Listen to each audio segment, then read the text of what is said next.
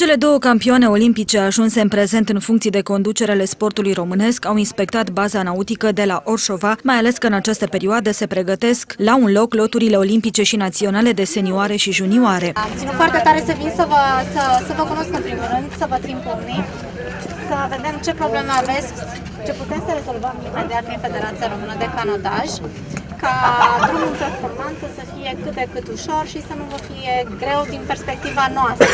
Munca e complicată și știți foarte bine cât de, cât de grea este să ajungi la marea performanță. În an preolimpic, ministrul Sabo a mărit bugetul clubului sportiv școlar Orșova, iar din această primăvară au fost cumpărate și embarcațiuni de ultimă generație. Înainte de toate, eu vin din mare performanță și știu că fiecare lucru uh, și mai ales la echipament contează foarte mult. Dacă vrem să ne batem cu, cu marile puteri, atunci și noi trebuie să investim cât de cât în echipamentul de, cu care concurăm. De asta am și ținut ca tot ce cumpărăm la sportivi din loturile naționale și olimpice să fie de cea mai bună calitate. Canotajul e unul dintre sporturile luate în calcul pentru medalii la Olimpiada din 2016, iar Orșova este principala pepinieră de campion. Centrul de la Orșova este un centru extrem de puternic pentru canotajul românesc, de aceea am ținut, um, am ținut foarte mult să ajung uh, și la Orșova la lot, pentru că e foarte ușor să stăm în birouri, dar uh, realitatea este aici pe teren, așa că împreună cu doamna președintă, uh, Elisabeta Lipa, um, ne-am coordonat și uite că am ajuns și la Orșova, tocmai pentru a vedea cu ce probleme se confruntă canotajul chiar la fața locului și să vedem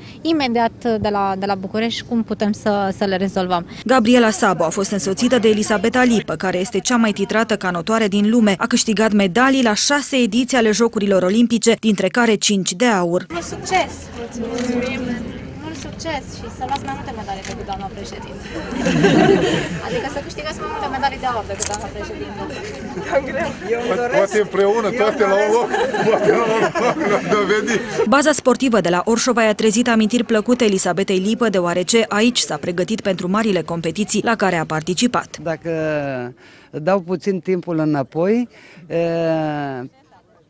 m-am pregătit aici în 89, M-am pregătit în 96 pentru Olimpiada de la Atlanta.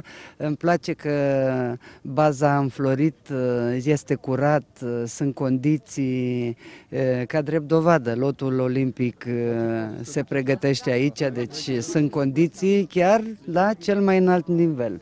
Mă bucură când văd baza plină de sportivi, asta înseamnă că avem viitor. O parte din sportivi au ținut să-i amintească ministrului că nu au primit indemnizațiile lunare, dar li s-au dat asigurări că de la minister banii au plecat, întârzierea fiind cauzată de birocrație.